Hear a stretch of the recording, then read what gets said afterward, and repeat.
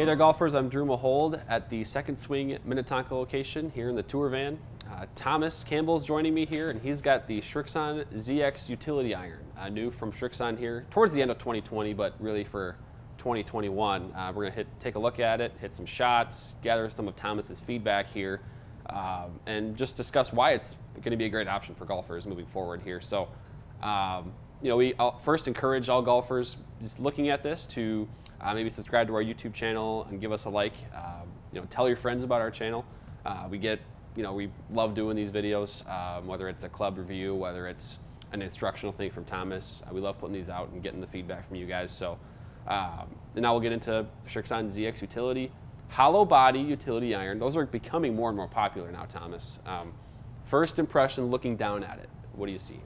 Very clean, compact looking utility club. I think it's going to blend very well from the ZX7s especially. Mm-hmm. I noticed looking at the specs that the uh, offset not, is very, very similar and then the top line is very, very similar with them as well. Actually, the offset number is the exact same with the ZX7. I think it's 3.6 millimeters with the 4 iron and also the 2, 3, and 4 with the utility okay. iron. So they're the exact same. So they'll help blend regards to bag. Yeah. But you mentioned the hollow bodies. This yeah. is going to be a tad more forgiving, probably a little more juiced with regards right. to distance. So kind of appealing to the better players, you think, maybe with the appearance, right? Because they got to, you know, it, at address, it's going to, with the offset, with the top line, it's going to look like a player's iron.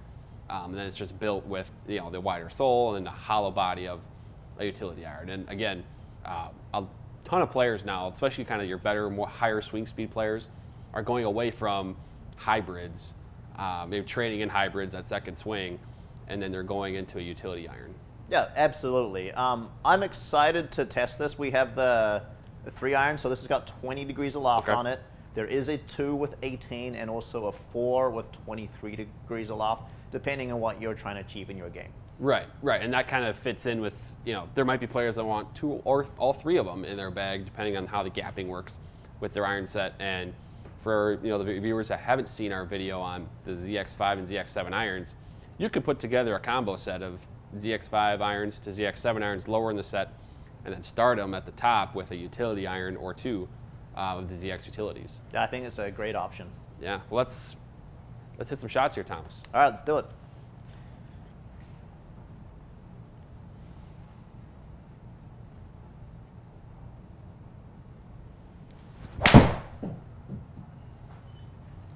Got some pop to it.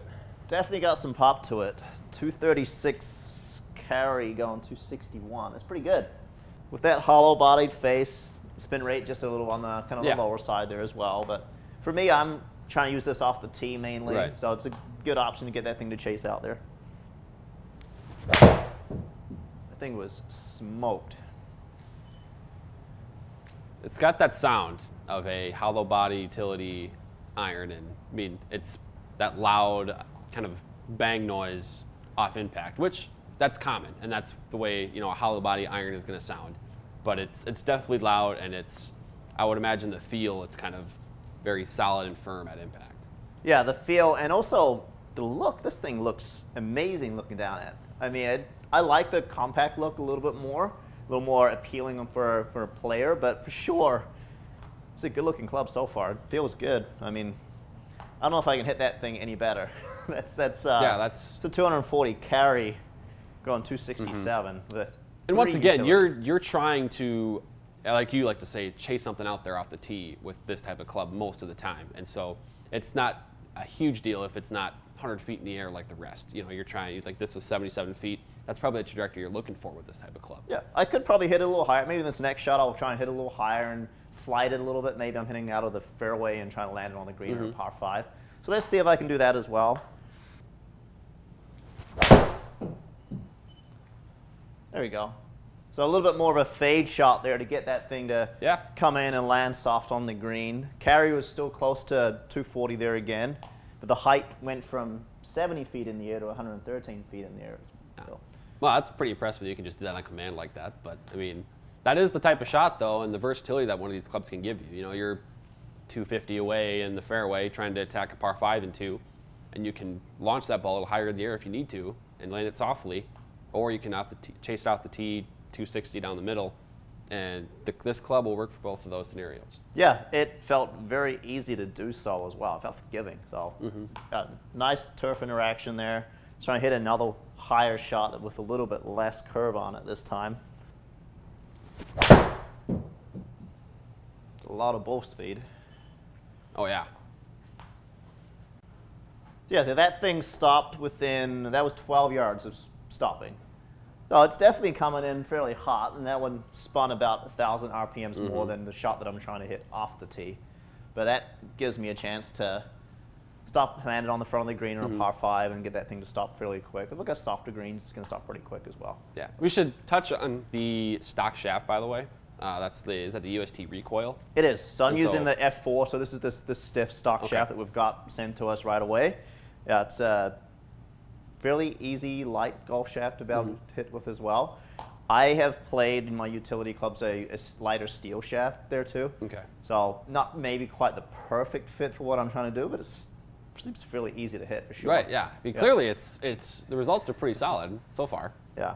I want to go back to hitting a couple more with the uh, more penetrating flight. Imagine I got some maybe some wind into me. Yeah. A little bit more of a chaser here.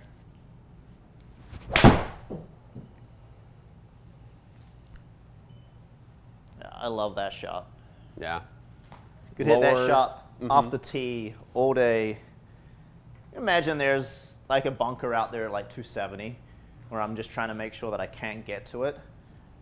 This is my this is my perfect club right there. Maybe there's Yeah. a hazard that crosses the fairway. I think it's definitely a, a great option. Mm-hmm. Yeah, and so the ZX utility, it's got some tungsten kind of in the sole area for that forgiveness, to kind of reduce that twisting uh, if you do miss the center of the face, which I know you're not very familiar with doing sometimes, but It uh, happens.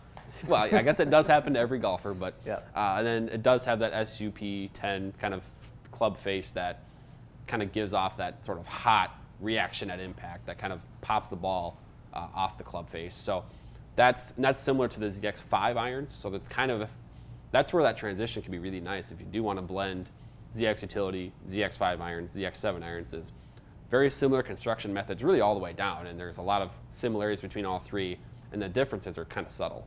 Yeah, I definitely love the fact with Srixon whether you could create a combo set. You could do the ZX utility, and for me, probably like a three iron. You could do ZX5 and like a four and a 5 mm-hmm. and then I could play ZX7 through the rest of the clubs there as well.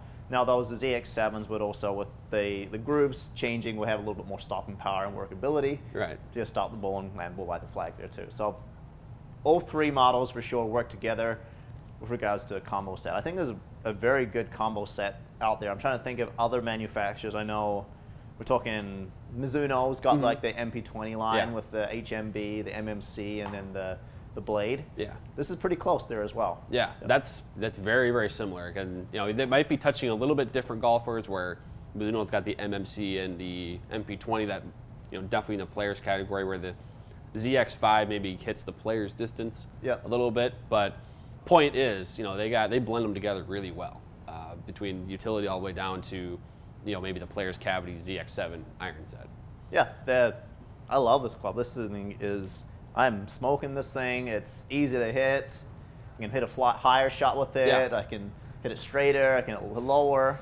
It's got some workability there, and it just does what I want it to do. Yeah, I mean, just, I mean, now we can. You kind of manipulated the shot a couple times with, you know, you're trying to hit a couple of them high, a couple of them low, but I mean, you're. It's a 260 club with 240 carry, which I know that's the type of number you want out of the utility iron.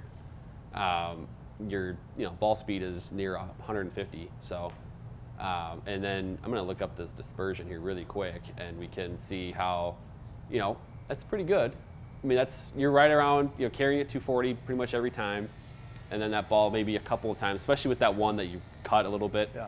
drifted right, but all of the rest of them are in the center. Yeah, that one I just tried to cut so I could Yeah. land a little softer on the green, create a little more spin on it. So that's why it's a little bit further out to, to the right. If I was outside, I would make an adjustment for that and aim a little left and then kind of cut it into the flag. But workability with this club, you got different options. You hit off the tee, you can hit off the ground. It's so Yeah. easy to hit. Yeah, it's a it's going to be great for Srixon. Yeah, well, golfers that are watching this video may be interested in the Srixon ZX utility iron. Uh, maybe want to trade in an older utility iron or a hybrid, can do so at secondswing.com or in one of our Second Swing store locations. Um, also, again, uh, feel free to like and subscribe this video for some more club reviews, club comparisons, instructional things like that coming for you in the future. So, Thomas, thanks for breaking down the Srixon ZX utility for us. Yeah, not a problem.